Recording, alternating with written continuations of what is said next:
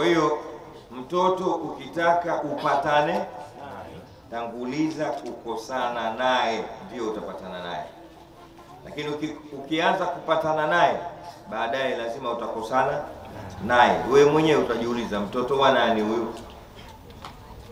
Mimi wakati nalelewa ili niwe hivi, nilikuwa napata mkongoto wa hali ya juu sana na mzee wangu, kanipiga sana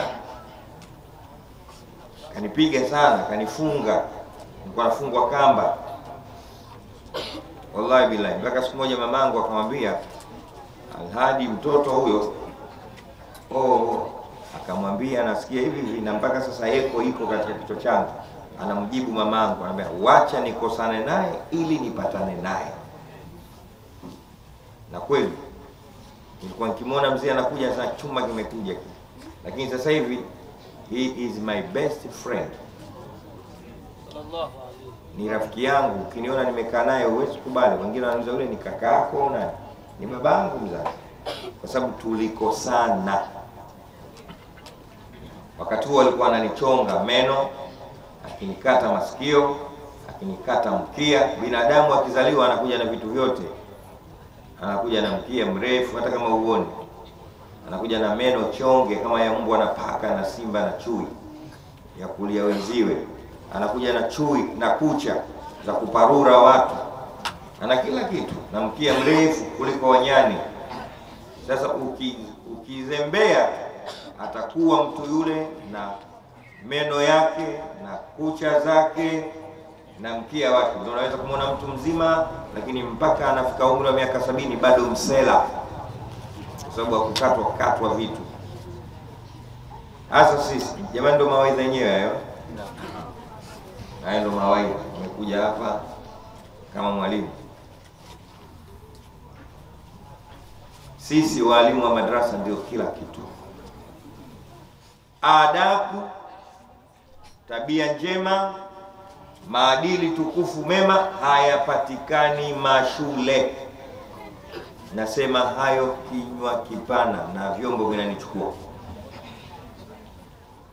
Adab, akhlaq, tarbiyatun hasana tayyiba, shule ya kuna. ikhlasu alhilmu wasabr walihsan, shule hakuna. Lakini huku ndo tuna tunavyovitu mwenyewe Mtume Muhammad sallallahu alayhi wasallam anasema, innama buistu liutamima makarima alakhlaq. Sikiliza neno hili, innama buistu liutamima makarima alakhlaq nimetumwa kuja kukamilisha na kutimiza maadili mema. Ukiulizwa na mtu Mtume sallallahu alaihi wasallam ametumwa kuja kwetu kufanya nini, usiseme amekuja kutufundisha kuswali, usiseme amekuja kutufundisha kufunga. Kuna mijinga mpaka leo eh, hawajaujua Uislamu wala kuhiji no Mtume amekuja kutufundisha maadili. Vile vingine vyote ni alama ya maadili. Ngoja nikupe ushahidi, maanake sasa hivi tunasoma kama tuko mahakamani, kila kitu ushahidi. Swala eh? Inasemaje? akimi swala, inna salata, someni wote, inna salata tanha anil fahshai wal munkar, swali hakika kuswali kunakomesha maovu na machafu. Umeona, mtu akiwa hafanyi maovu hafanyi machafu, manake ana maadili mema. Akimi salata inna salata tanha anil fahshai wal munkar, swala hiyo. Kwa hiyo swala ni kithibitisho cha mtu mwenye maadili mema, mwenye tabia tukufu, tabia njema. Swali, hakika swala inakataza maovu. Ukiwa una swala lakini bado maovu unayo, hiyo sio swala. Hata kama umeelekea kibla vizuri kabisa, umetawadha barabara kabisa, unasoma kisomo fasaha, marasti. Bismillahi rahmani rahim, lakini ukitoka hapo unaenda kuiba. Haisui. Alhamdulillahi rabbil alamin, lakini ukitoka hapo unaenda kwanga Maliki yaumiddin, ukitoka hapo unakwenda kuzini, hiyo swala haiswihi. Iyyaka na'budu wa iyyaka nasta'in, ukitoka hapo unakwenda kugombanisha watu, swala haiswihi. Ihdina siratal mustaqim, ukitoka hapo wewe mwizi, swala hiyo haiswihi. Usitudanganye, unafanya mazoezi tu. Swala ambayo kama anavyosema Mtume, innama yatakabbalu llah swalata man, hakika Mwenyezi Mungu anakubali swala ya mtu ambaye kwamba haongopi, hebi, hapigi wenziwe, haui wenziwe, hadhulumu watu, swala hiyo ndio inakubalika.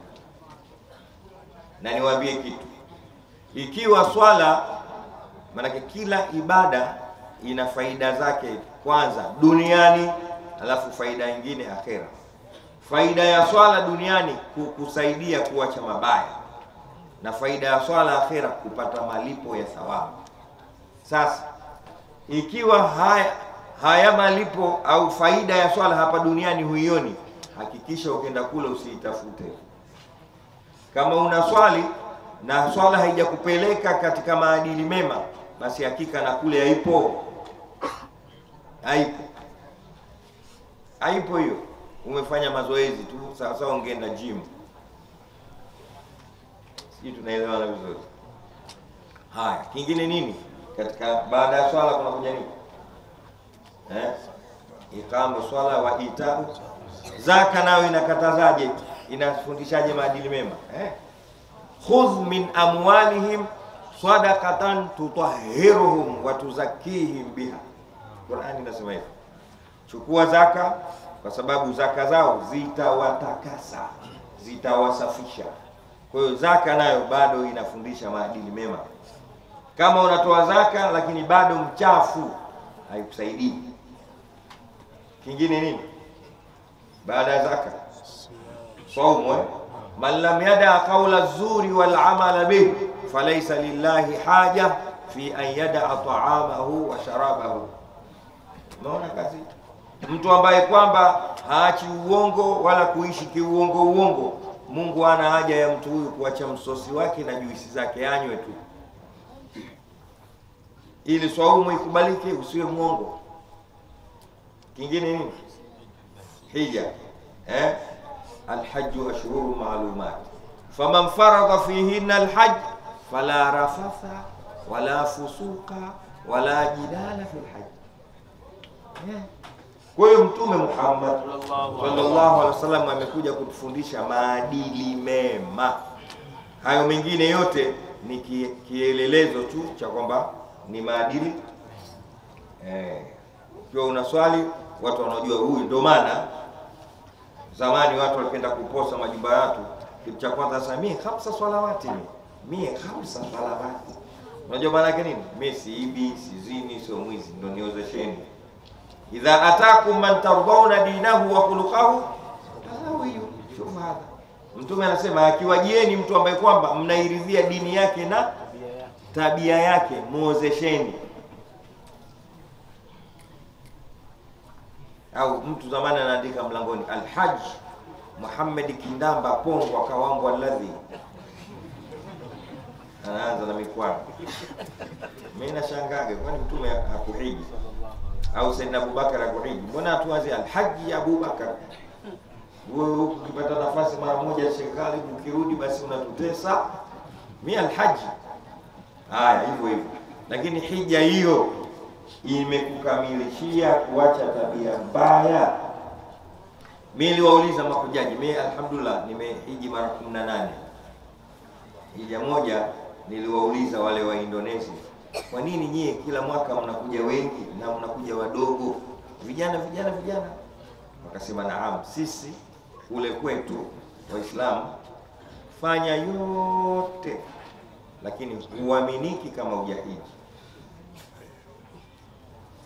Hata kama umesoma umegraduate wewe we, una, una master katika masomo yako, una masomo ya juu, lakini upati kazi, utaulizwa umesoma nini? Eh, mimi na degree mbili tatu, mwisho unaulizwa ushahidi bado, mbaya utatuibia.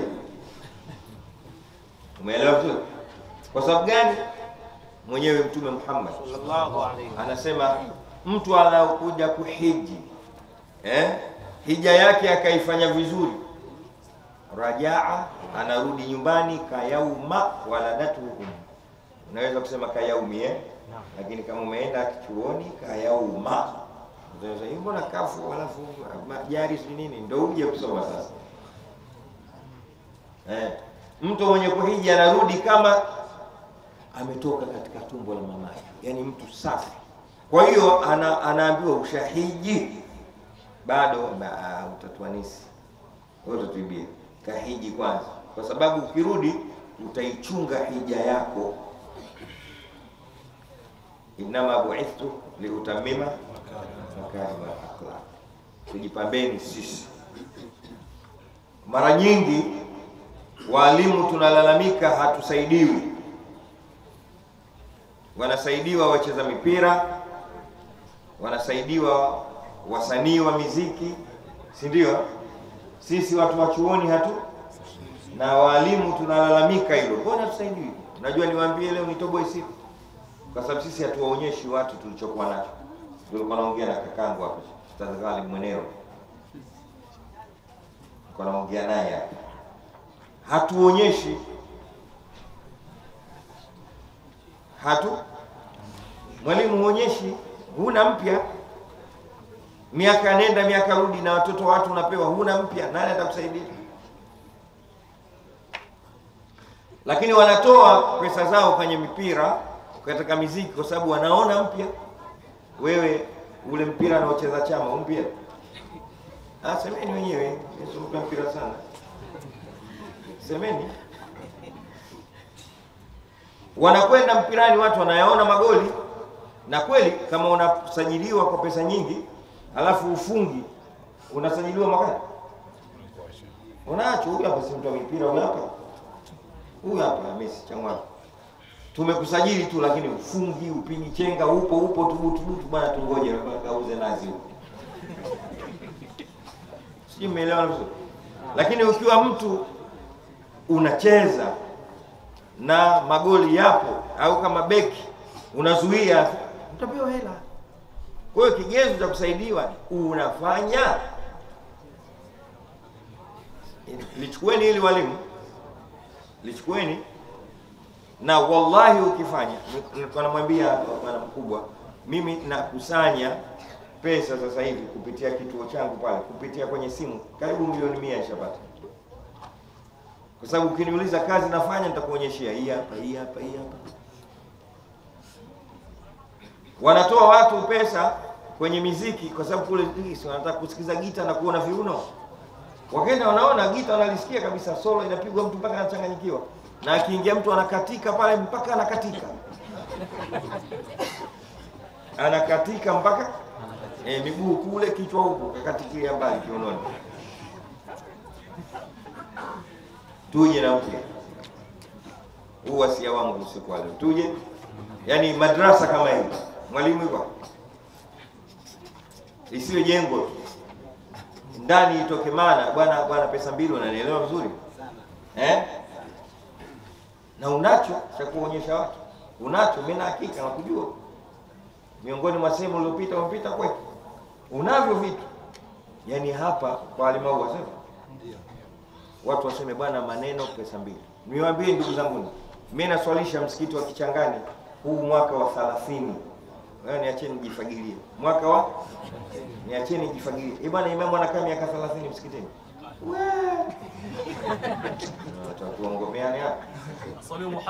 Miaka 30 ya misha mwaka. Nitajie imamu gani? Tangu mwaka elfu moja mia tisa na tisini nimechaguliwa kwa imamu mkuu pale Kichangani mpaka mwaka elfu mbili na ishirini nafasi yangu ile ile na asubutu mtukuu, sababu kila kiza ah, yale mambo wanaofanya Walidi, mimi nitasogea pale nakuja na mpya kila siku. Ijumaa nakwambia ni kweli, swala ya Ijumaa na kutubu mwenyewe. Mtu ananiuliza kutoka Unguja, kesho una kutubu mwenyewe brother? Naambia na kutubu. Anapanda boti ya mwisho Zanzibar, anakuja kusikiliza hutuba, anapanda boti ya mwisho, anarudi hapa Bagamoyo, sijui Kibaha, Chanika, Gongola, Mboto, karibu tu msikiti. Nikisema ghairil maghdubi alaihim waladdallin, wanaosema nyuma amin, watu elfu kumi. Swafu moja ya Kichangani inachukua watu mia moja na sitini na ziko swafu sabini. Piga hesabu, simu unayo, watu wangapi huu mwaka thalathini Natimbulika mwenyewe, no uchawi no nini Vipi Hutuba ya jana sio yako, hamna kurudi nyuma. Msaafu una sura mia na kumi na nne unarudia maneno. Onyesha mwalimu uko hapa, nasema naongea na watu wangu, najua naongea na watu, siwezi kuasa maneno haya na watu ambao sio wangu. Tunavyo vya kuwaonyesha watu, na huna tafuti. Kun mustafidan kula yaumin ziada man tasawa yaumahu wa man nakasa yaumuhu an amsihi Jana yako haitaki kufanana na leo. Usifananishe jana na leo, jana jana, leo eh, kwa sababu hata wewe jana ulikuwa mdogo, leo mtu mzima. Hata mimi ukirudi hapo, mimi nimechaguliwa pale Kichangani nikiwa na umri mdogo, nilikuwa na miaka uh, kama 25 tu,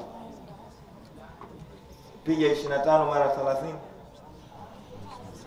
eh, na ndio umri wangu. Karibu na kufa maana. Lakini nimefanya sema tu Tanzania humu Waislamu tuna kawaida ile usifiwi mpaka ufe. Ikiwa uko hai watu wanapita pita tu, lakini anakusifia ikiwa chooni. Sasa shenzi yule anajua, lakini mbele za watu ah, usijali, iko siku atasema ukweli tu. Eh, satadhkuruni qaumi ijadda jidduhum wa fi lailati dhalmai Mtu mmoja anasema watu wangu watanikumbuka idha jadda jidduhum, kitakapokuja kimbembe chao. Wa fi lailati dhalmai yuftaqadu albadru, na katika usiku wa kiza ndio mtu anakumbuka mbala mwezi. Hiyo inaitwa tashbihu dhimni, watu waliosoma balagha. Sawa sawa, na wewe ukae hapa au katika eneo lako, mwalimu wa madrasa, kwamba watu wote wajue kwamba yule pale ndo mtu wetu. radhina bil amin, kama alivyokuwa mtume ambaye tumemkusanyikia hapa sallallahu alaihi wasallam.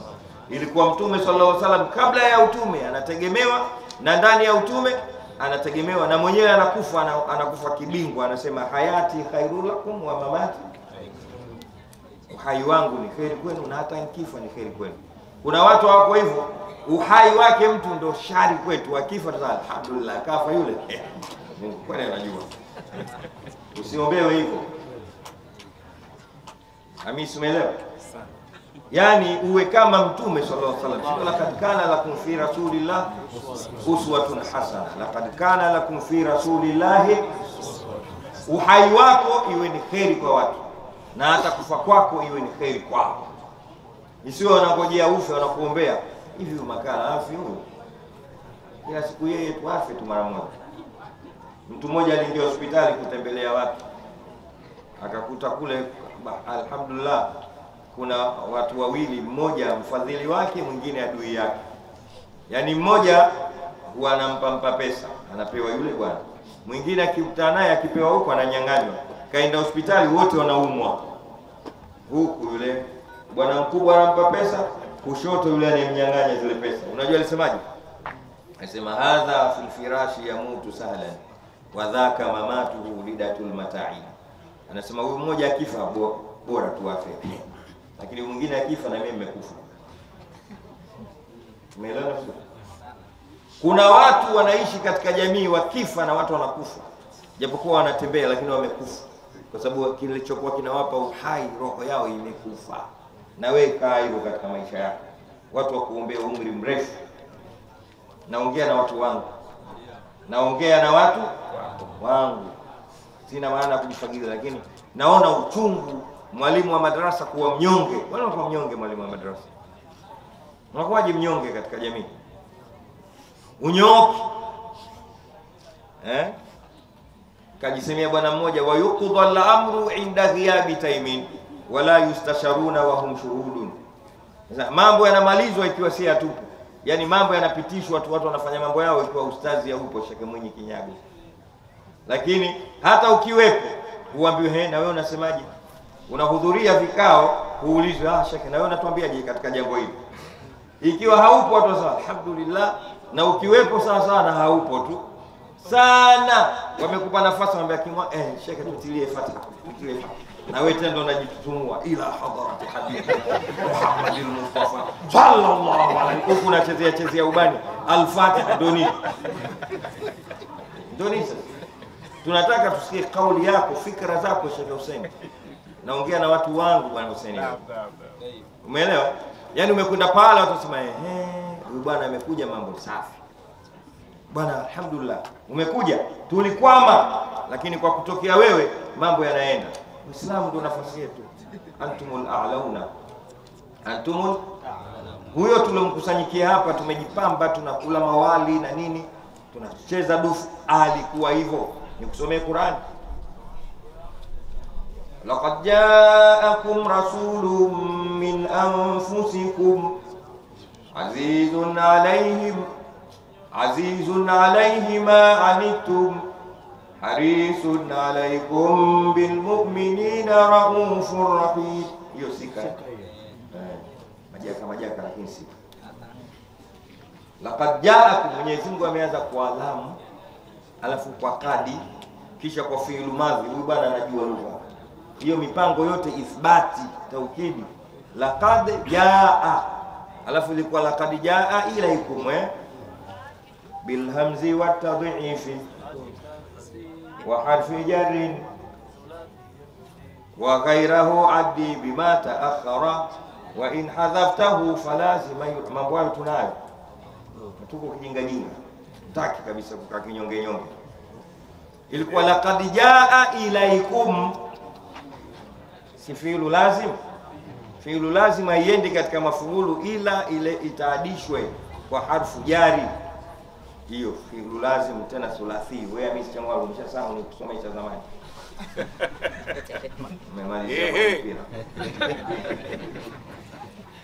Shike makao. Unakumbuka hii? Ilikuwa lakad jaa lakini Mungu kasema lakad jaa ilaikum. lakad jaakum. Kwa nini? Kuonyesha hakika. Maki alikujieni mpaka nyie ile mpaka Mungu kaipiga tena kaiondosha kule ili upatikane uhakika wa ujio ndio laqad jaakum, wenyewe anaita fi'lu kinyonga hii. Hussein Kisoda, laqad jaakum, shikujie, ndio tafsiri nzuri. Nani? rasulun min anfusikum, mtu miongoni mwenu. Huyu mtu sifa zake azizun alaihi ma anitum, linamtia tabu sana, linakuumizeni nyie. Huyo mtu wa ajabu sana. Leo kuna watu wanasema mie kama mtume, wewe ogopa wewe wewe binafsi mambo yako unamaliza mwenyewe, ukipata pesa unipi mimi, alafu nasamee kama mtume katika lipi? Mtume Muhammad sallallahu alaihi wasallam, yeye njaa yetu yeye inamuuma zaidi. Wewe umeamka leo una njaa sana, mtume ana njaa zaidi. Umeamka una chunusi, mtume anakosa usingizi. Umekimbiwa na mkeo, mtume anasikitika. Ndio mtume Muhammad na ushahidi, mtume sallallahu alaihi wasallam anakufa, anasema nakufa, au anasemaje?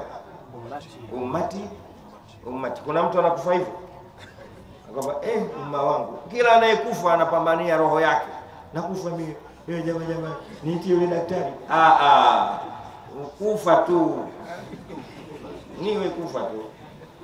Daktari anafanya kazi gani? inna tabiba lahu ilmun yadullu bihi idha kana lilmar'i fi ayamihi ta'khir hatta idha mantahat ayamu rihlatihi hara tabibu wa halatuhu al-akakir. Imam Shafi anasema daktari anakuwa daktari bingwa ikiwa yule mgonjwa bado ana pulong katika maisha, maisha yake bado yapo, ndio daktari anapata ujiko. Yule kiboko wa mishipa yule, ukiupeleka mshipa na upasua juu kwa juu, bado yule mgonjwa hajaandikiwa kufa. Lakini kama siku ishafika, hara tabibu wa khanatuhu al-akakir, wa kwanza kukimbia daktari, anakwambia kuja sasa hivi nitakupigieni simu, kishaona jambo limemshinda, unakufa mzee. Sasa wewe oh, mimi niite daktari nakufa, wewe kufa tu. Hata akija pale, la yuakhiru Allahu nafsan idha jaa ajaluha wallahu khabirun bima ta'malun. Nakuja sasa bayati ya chini, sisi ndo kila kitu, walimu wa madrasa, tukikaa katika maeneo humu tu, watu wote watujue na watukimbilie. So unakimbiliwa wakati wawili tu, unakimbiliwa wakati wa kuoa na wakati wa kuzika. walimwengi ndio tumekisha hapo, na cha tatu nimesahau, na wakati wa nini, wa hakika kwa ajili ya kufukia mifupa. Mimi niliwakimbiza kule Magomeni, bwana, ule mfupa naweka dau, naambia mfupa wa mbuzi wa kiume kiasi kadhaa. Unadharau, mimi kazi yangu kufungia mifupa ya hakika mtoto wako. Lakini mwalimu ndio hivyo kwa kuzika mifupa. Bwana, mfupa wa mbuzi ule hauna talakini wala hauna uzu Umeelewa wewe Mwinyi kule Sinza huko, siwaambie watu maneno yako. Wewe unatakiwa uwe ndio ndio amiri, Wewe ndio khalifa katika mtaa kama alivyokuwa Mtume Muhammad. Nimesema sana, mtume alikuwa akitegemewa kabla ya utume na baada ya utume, na mpaka hivi sasa amekufa, bado tunafanya tunamtegemea. Kule anasema kila Jumatatu na Alhamisi naonyeshwa mnafanya nini mimi, na mimi nawaombea Mungu. Hayo makorokoro ma- yenu yote mnayofanya yote, Mungu ananiambia, mnamwona Walidi anafanya, mmeona Changwalule refari, mmemwona Sheikh. Mtume anasema "Ah, Mungu wasamehe walau annahum idhalamu anfusahum jauka fastaghfirullah wastaghfara lahum rasulu lawajadu llaha tawwaban rahima. Waislamu tu hasa mashekhe, maustadhi, walimu, tuchukue nafasi yetu. Idha kunta fi amri fakun fihi rahimallahu mraan arifa qadrahu. Mwenyewe anasema Mwenyezi Mungu anamrehemu mtu aliyojua nafasi yake akaifanyia kazi, na inshallah wote tuifanyeni kazi kuanzia sasa. Tuamke kwanza, mwisho kabisa, umoja hatuna. Walimu wa madrasa hatuna umoja. Kama hapa naona madrasa zilivyokaa vikundi vikundi, na zikiondoka inaondoka. Ndio maana mtoto anaweza kuondoka madrasa ile akahamia madrasa nyingine na hakuna chochote. Akitoka tauhidi akaja hapa Hidaya, muulize wewe ulikuwa unasoma kule, kilichokuondosha kule nini? Kwa sababu kilichoko kule ndio kiko huku, lakini tunafanya hivyo. Mtihani umoja. Bila ya umoja, ndugu zanguni, hatuwezi kufanikiwa. Tuwe wamoja sana. Selemani, unanisikia huko? Mwalimu wa madrasa Kigamboni, Sheikh Makala huko Tahasun, wote nawajua madrasa zenu. Kuweni wamoja, network. Ukikosa network, basi umefeli. Mtume Muhammad sallallahu alaihi wasallam alipofika Madina, wasiojua tarehe wanasema kitu cha kwanza alichokifanya Mtume Madina kujenga msikiti. Hapana, hakujenga msikiti kwanza. Kwanza aliwaweka watu wa kitu kimoja, kawakuta Ausi na Khazraji wana miaka mia tano hawasemi hawazikani. Ausi Ausi, Khazraji Khazraji, akawakusanya wote wakawa kitu kimoja, watu waliowekeana shonde miaka mia tano akawaambia nyinyi sasa mtaitwa Ansar, no Ausi wala Khazraj. Kaja na kundi kutoka kule Maka, umeelewa? Makuraishi sijui nani wote wale akawaita nani? Muhajirina, akawa na makundi mawili. Baada ya kufika akawakusanya. Chukua kisa hichi, anahadithia Saidna Abdurrahman bin Auf, anasema nilipofika Madina, Mtume alinichukua mimi akaniunganisha na Saidna Saad bin Rabia akaambia wewe huyu hapa ndo ndugu yako. Saad bin Rabia akamchukua akaenda naye mpaka nyumbani kwake. Neno la kwanza akamwambia, ana min akthari lanswari mala, mimi ni katika watu ambao kwamba wa maanswari wa Madina wana pesa nyingi sana. Kwa hiyo ndugu yangu, mtume amenipa wewe, ni wangu, umetoka Maka, huna kitu, wapeche ya lolo. Sasa sikiliza ninachokifanya mimi eh? aksimu nisfa mali, aksimu laka na kugawia nusu ya mali yangu jitu lina hela nyingi linampa muislamu mwenziwe nusu kwa nusu, pasu kwa pasu, lugha ya mjini. Kama alikuwa na bilioni mbili, moja yake moja yake. Haya, akaambia twende nyumbani. Akamwambia mimi nina wake hawa wawili, mimi naelekea kibla, tizama katika wawili anayekupendeza mimi namwacha baada ya kukaa eda, mchukue wewe.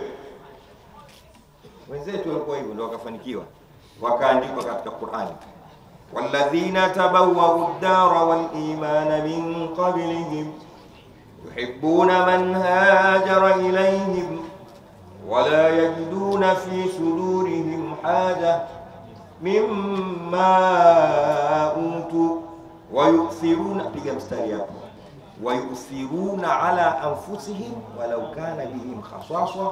Mungu akabwagiza waman yuqa shuha nafsihi faulaika humul muflihun. Hizo tusio tunazisoma tu, tuwe tunapeana. Umeelewa Sheikh Abubakari? Bana, Mungu anasema hivi, Waislamu ndio hivyo, tunatangulizana. Ukipata jambo, mwalimu wa tauhidi, mtu wa kwanza mkumbuke mwalimu wa ibtidaia, mpigie simu, bwana, huku kuna kuna ndondo itakuja. Lakini walimu wa madrasa tumefeli, mambo ya, ki, ya watu wabaya ndio tumejivisha sisi. Tusiwe hivyo, turudi katika nafasi yetu, kwa sababu huyo mtume tunamsherekea ndio aliokuja kutufundisha mwenye anasema innama buithtu liutamima wama alaina illa albalaghul mubin. Wassalamu alaikum warahmatullahi taala wabarakatuh. Wa alaikum assalam